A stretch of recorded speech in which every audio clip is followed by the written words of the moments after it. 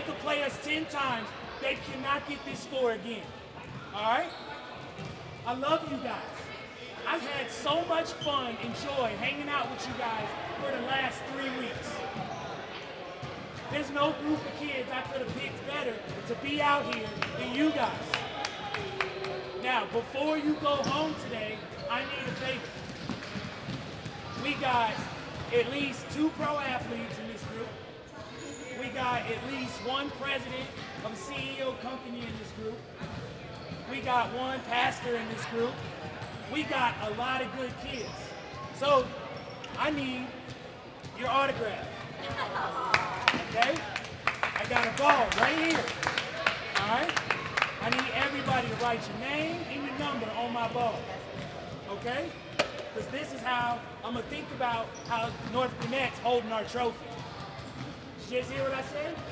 They're holding it for us. All right? I got one. Thank you.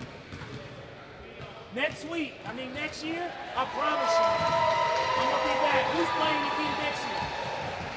Everybody playing again next year? Man, you guys are a great group of kids. Everybody up. Let's go. Everybody up. Stop taking my balls out the game. I'm about to punch you in your mouth. Hey, I'm sorry, okay? Come in. Come in. Hands in. Hey, we win together, we lose together, okay? We are the Grayson Graham Legends, right? Let everybody know what city we just represented. Grayson, right? One, two, three, Grayson! Hey, everybody line up though. Everybody line up. Line up. Um, let me tell you, man, this is the most unselfish group of young men you'll meet.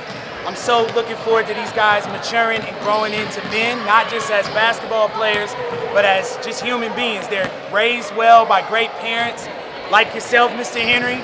And uh, it's just been such a joy to be around these kids. Like, it's like being around my own kid. Well, all I can say is these boys are phenomenal. Definitely look for them in the future. Next year, middle school, high school, so on and so forth. They're definitely going to impact their community. One, two, three. Grayson